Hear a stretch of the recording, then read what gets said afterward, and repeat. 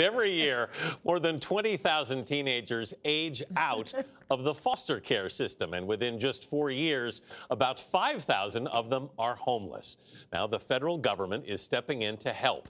In an interview you'll see only on CBS this morning, Secretary of Housing and Urban Development Ben Carson spoke with our national correspondent Jericka Duncan about the innovative solution. Jericka?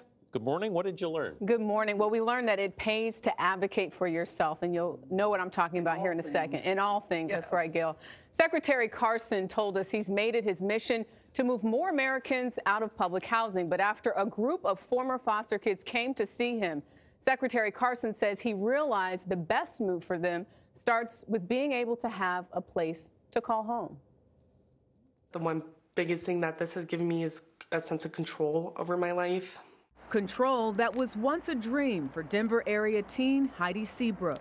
Going from, you know, drugs to foster home to group homes to halfway houses and psych wards and jail. Now the 18 year old has the keys to a different future and this her first own apartment through a new federal housing initiative called Foster Youth to Independence. I feel like this is the first time in my life that I have the peace and the room to kind of forgive myself, to like grow a little bit. The FYI program puts rent within reach and teaches job prep and life skills to former foster children ages 18 to 24. There are so many people who. The solution took a brain surgeon, Ben Carson, people. who heads the federal agency overseeing public housing.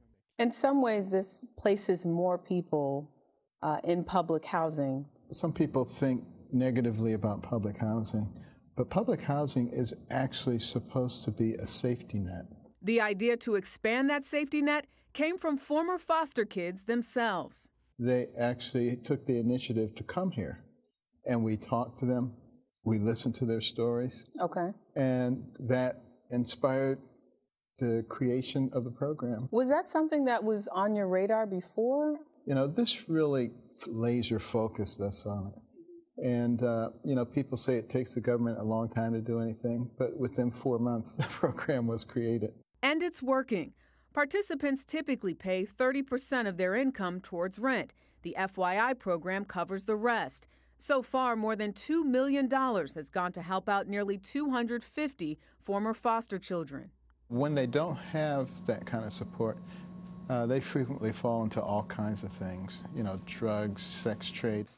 Back in Colorado, Seabrook now sees a new future. Who would think that I would go to college, not just like a drug addict, not just, you know, some kid in the system. I can really be like who I want.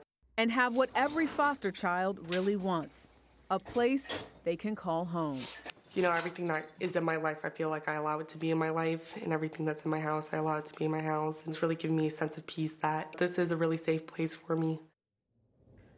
Now Heidi has set her sights on college. She wants to become a social worker to help at-risk teens like herself. And while the FYI program just started, Secretary Carson said it's already been big enough success that he's adding almost a half million dollars more to help more former foster kids like Heidi find homes. So obviously 250 right now with this original program, uh, but you've got 20,000. So this is this is helping, but it, it, obviously is a bigger problem when you look at the big picture. Happy for Heidi because she's been through so much. Yeah, yeah she yeah. has been. so much. It's good to see that story have a happy ending. Rent within reach.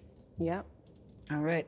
I love the interview with Ben Carson where he says, and he went, okay. I don't know if it was the delivery, the facial expression, but I'm like, okay. No, we thank him for, for we do helping out and, and showcasing that because we know he doesn't talk very often. It's an important program yeah. and it's making a difference. Yeah. Thank you, Mr. Carson. Thank you, Jericka.